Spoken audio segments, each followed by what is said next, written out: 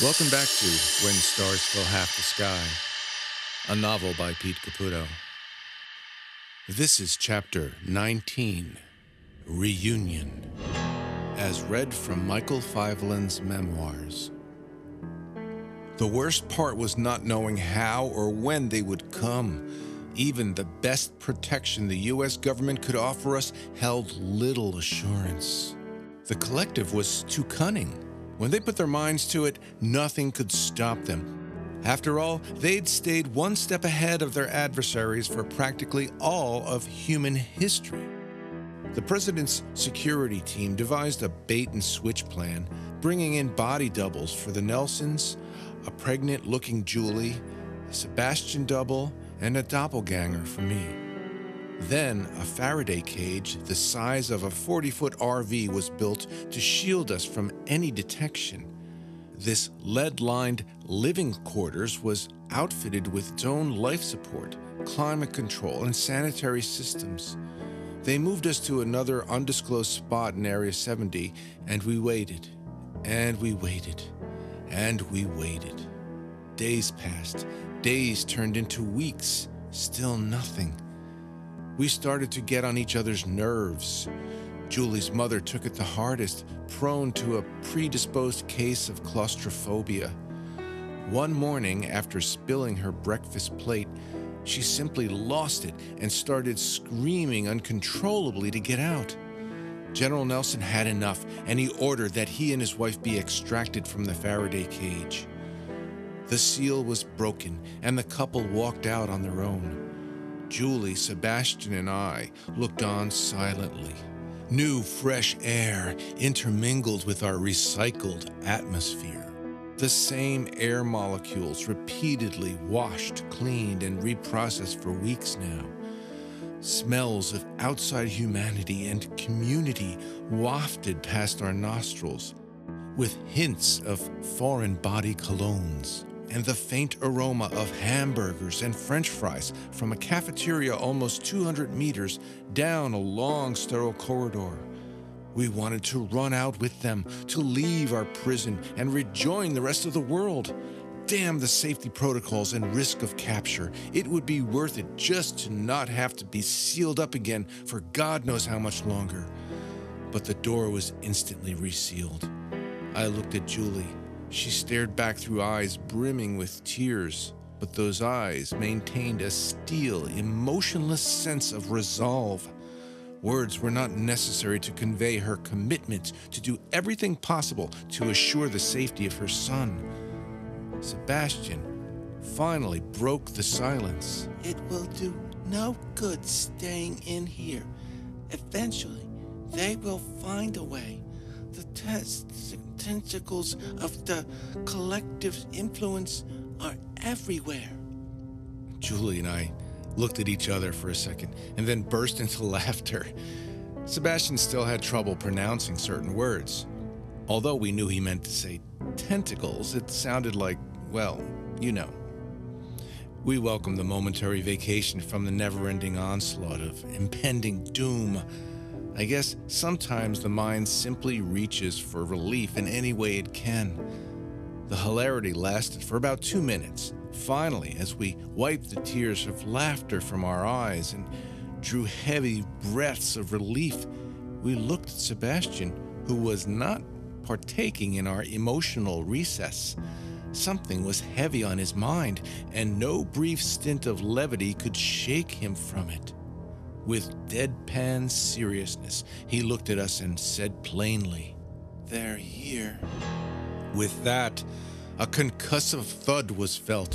It shook the entire container. The magnetic locks that sealed the Faraday cage were blown. The doors flung wide open, and in stepped four figures, all dressed in black, donned with self contained breathing apparatus. Behind them, gunshots were echoing down the hall. They approached cautiously. One of them threw a small canister toward us. Gray smoke instantly billowed from it. I threw my arms around Julie, who was already holding on to Sebastian for dear life. But with the first whiff of that neuro arresting agent, we all lost consciousness. Julie and I awoke hours later, restrained in chairs aboard a military type aircraft flying back to Switzerland. They placed us almost 10 meters apart from each other, and so, with the ambient noise of midair flight dragging across the outer hull of that stark empty fuselage, there was no way for us to physically communicate. However, it did not impede our Morrisell connection, and so we commiserated. Michael, I can't sense him, she said as we sat quietly with eyes closed. Our Morrisell fragments were glowing brightly. Me either. He's not on this plane, that's for sure. There were two other people in our immediate area a large framed woman who appeared to be a medical technician of some kind. She was monitoring our vitals and observing our glowing Morrisell samples. The other was a physically fit Asian man, appearing to be in his mid 20s. He was dressed in the same black gear the attackers wore during the raid earlier. I was able to read both of them fairly comprehensively. He was named Nico. He was one of the agents who broke into the cage. The woman's name was Grundel Liebschinger, a doctor of neurological medicine from the University of Zurich. They were both recruited by the collective, fully implanted and indoctrinated into the NWA culture and directives. Their loyalty to the NWA ran deep, as was the case for most individuals who had since received bioelectronic implants years earlier. By now, their Nilka flesh connections had been fully integrated into their central nervous system. Voluntary and some involuntary motor functions were controlled by the will of the collective. Still, no one was privy to our Morrisell conversation.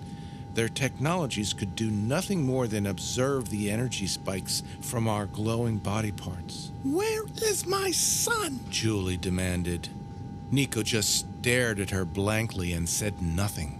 I need to know. Where is he? Have you no regard? No sense of decency? Are either of you parents? Do you have kids? Think of what you'd feel like if someone came and ripped your child out of your arms. Please, just tell me he's all right. Your son is all right. Grundel finally replied with a hint of sympathy behind her heavy Swiss accent. That is all I will say. You will know more when we land. Julie implored further, but to no avail. She would not say another word. Finally, Nico had enough. He approached Julie and forcefully struck her across the face.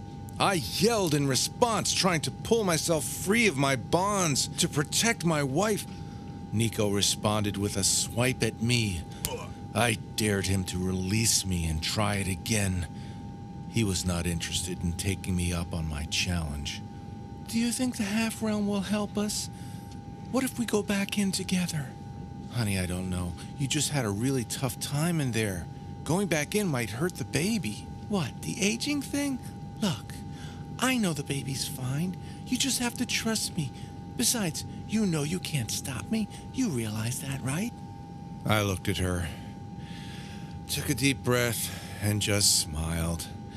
I knew it would be no use trying to stop her once her mind was made up. We both closed our eyes, and suddenly we were back in. It was a brand new place and time, one we'd never been to before in any of our journeys. The setting was just outside San Francisco, standing in an open field atop a park facing the Golden Gate Bridge off in the distance. But it was more than the location that was new, for we knew instantly that this was the future. 20 years into the future, more precisely. The ride was unpleasant, as if someone or something was reaching inside and squeezing our internal organs. I understood now how my mother's journeys into the future took such a toll on her body. The pain was disconcerting, yet somewhat manageable. The experience was extremely heavy and oppressive for another reason. the New World Alliance had finally wrested control over the independent governments and sovereign nations of the world. Gone were the red, white, and blue of the United States and the blue and gold of the European Union. Gone as well were the flags of Russia, China, and India, and all other developed countries of our planet. Only one flag remained. It was a deep purple colored flag sporting a golden pyramid in the center, encompassed by an elaborate Florentine pattern. This was the flag of the New World Alliance. At first, the panorama of this futuristic landscape was amazing and noteworthy. We were there witnessing the manifestations of both superconductive engineering and Nilka flesh ingenuity joined completely together. Energy was no longer something controlled or regulated by large corporations, oligarchs, or governments. It was dirt cheap to generate it, produce it, and maintain it. It changed the way societies functioned. The old infrastructures were gone, replaced by the ever increasing need for magnetic levitation devices of all kinds. Jobs hindered by the limitations and restrictions of gravity were now a thing of the past. A new type of societal structure was emerging where entrepreneurs and investment groups existed only to facilitate this new paradigm. And the NWA controlled it all through the Omni Neural Network established decades earlier. The Prophet 10,000, now once again fully restored and in operation for the last 12 years, had spread its network into every corner of the globe and had become the brain for all communications, all record keeping, and every single financial exchange of any kind. Now it was simply referred to as Mother. But beneath the surface of this seemingly perfect world, a darker underbelly was quickly being revealed to us, and it wasn't hard to see, for it was pasted on just about every face. Almost everyone walked around with zombie like expressions, blankly fulfilling predetermined tasks and directives. And wherever we went, that same void and vapid stare would greet us. There was a new leader on the world stage. He was a 22 year old, handsome, black haired young man with striking facial features and big blue eyes that peered right into your soul, inviting you to come along on his mission to unite the world. His name was Sebastian Fiveland. Our knees buckled. The collective had finally achieved their age long objective to win the hearts and minds of the human race, and they used our son to do it. The half realm immediately moved us to Treasure Island, that little stretch of land in the middle of the San Francisco Bay. It had recently been converted into the North American capital of the New World Alliance. Directly in its center rose a brand new 12 story complex completely surrounded by the latest defense and cybersecure technologies. There he was, in the presidential suite on the top floor, sitting at his desk as a host of servants, aides, and sycophants catered to his every whim. Among this cacophonous cloud of groveling humanity, the room was filled with holographic projections of even more minions, stooges, and clapping seals vying for Sebastian's attention. We entered, covertly as usual, but Sebastian immediately sensed our presence. He stopped what he was doing and looked up. Raising his right hand to silence everyone, he commanded, Leave me! Now! No one questioned. They simply filtered out of the room as quickly as possible. When the door was shut, he silenced all recording devices. We were finally alone with him. With the world shut out, Sebastian confidently and securely turned to us. He rose from behind that impressive executive desk and walked over to where we were standing. He focused on his mother. Julie was already an emotional wreck, in tears and sobbing steadily. She moved forward to touch him, but I held her back. Julie, don't. We don't know what will happen if we touch him. Remember, this is the future. I don't care. Just let me go. Oh, my boy. Sebastian opened his arms. Julie ran to him. They embraced. There was no adverse effect. It was as if we were completely integrated into that time and space, at least for the moment. I cautiously advanced and embraced both of them. You're not a part of them. You're still separate. I can feel it. No, they got what they were looking for without integrating me. All this has been made possible because of you, Mom. Me? But but how? Oh, you're here from that day, the day they came for me in Area 70, correct? Yeah. We woke up on a plane heading for Switzerland. They took you from us, and we knew the only place we'd get answers would be in the. I, I know, I know, so you're here. Oh, there's so much you don't know. So much has happened since then. So much is about to happen to you in, in your time. Sebastian turned completely silent and deep in thought, as if contemplating every potential outcome affecting his current world as a result of this meeting. Julie finally broke the silence. Sebastian, tell us what happened to you. His eyes revealed decades of distance between us. His mind was not easily accessible as it once was. Our Morrisell connection to Sebastian was compromised. For too long, he'd been nurtured and tutored by the collective, indoctrinated in their ways of thinking, their precepts, their politics.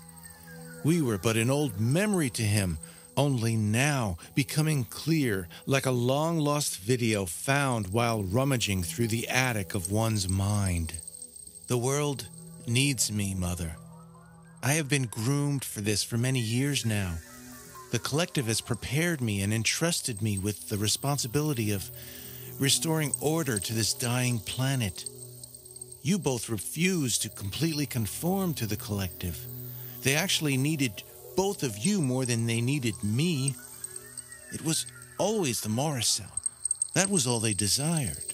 He stopped himself again, contemplating the global ramifications of continuing to bare his heart before his parents. He looked down and realized Julie was still pregnant with her second child. Is she here? Is she alive? Tears welled in Sebastian's eyes. He turned his head away. Sebastian, we just need to know if she's okay. Can you at least tell us that? Brigitte, he suddenly cried, lifting his gaze to the ceiling. A holographic image suddenly flashed before us. She was about 20 years old with flowing blonde hair and green eyes. Her chiseled cheekbones and dimpled chin reminded me of my mother. But there was a different light in her eyes. She was plainly dressed in a simple white blouse and tattered jeans, sitting at a computer terminal, working on what looked like a puzzle of some kind. When she heard Sebastian's voice calling, she looked up momentarily, tilted her head as a dog might do when hearing its master's voice, and then slowly she dipped her head back down. We both sensed it immediately that Brigitte suffered from Asperger's syndrome. Sister, our parents are here. They have come to visit. Brigitte, they're here to see you. There was no response. Brigitte is severely disabled yet highly capable. We use her to troubleshoot certain parts of the network. She has a keen sense of detecting imperfections and flaws in Mother. Oh, I'm sorry. You called it the Prophet 10,000. Like me, there's Morrisell in Brigitte's body, but it's bloodborne and not localized to any specific mass or organ as it is with both of you. They've tried to work with blood samples from both of our bodies, but they've found no way to exploit the special effects and capabilities of our Morrisell. The only choice they ever had was to keep us within their care. My role was clear, almost from the beginning, But soon after they diagnosed her disability, they had no choice but to keep her as near to me as possible. Through the years, she continued to only respond to me, but as my responsibilities became greater, I was left with no choice but to keep her in the care of others I could trust.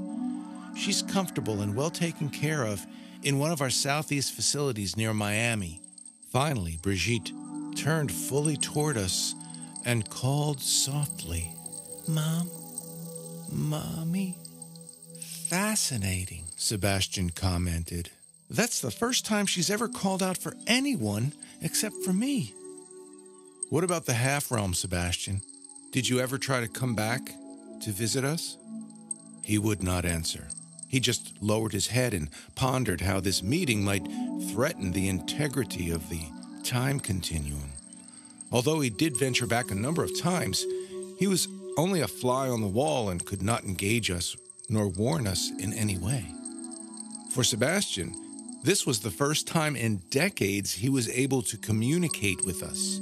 But even so, he had more pressing needs and responsibilities to calculate probable outcomes and alternate realities.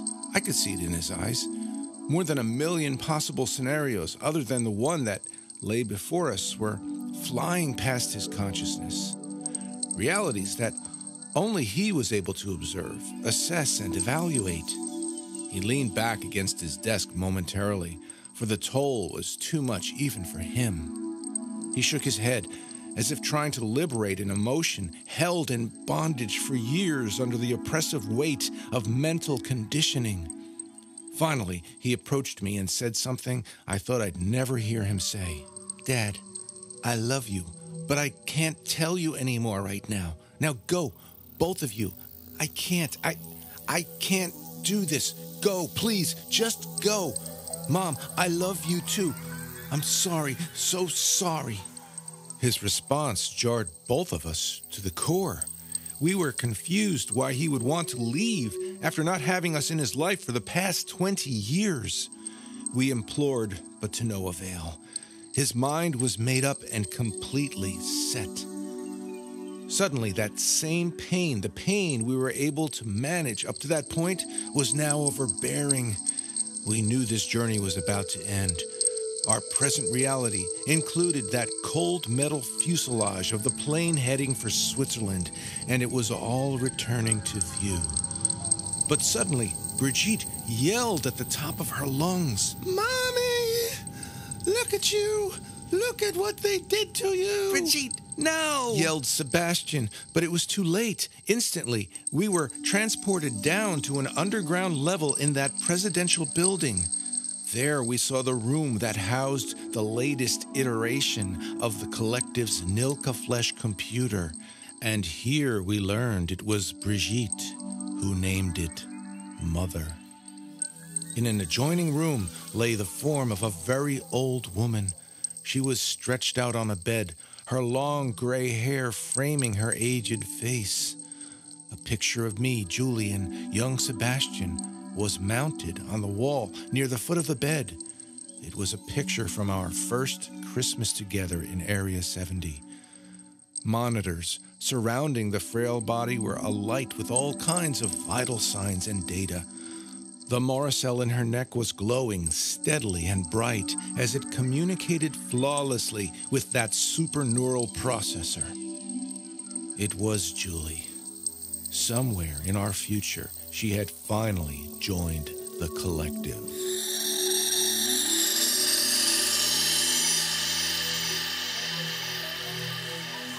In the next chapter, Michael wrestles with his creator and finally learns the most important lesson of his life.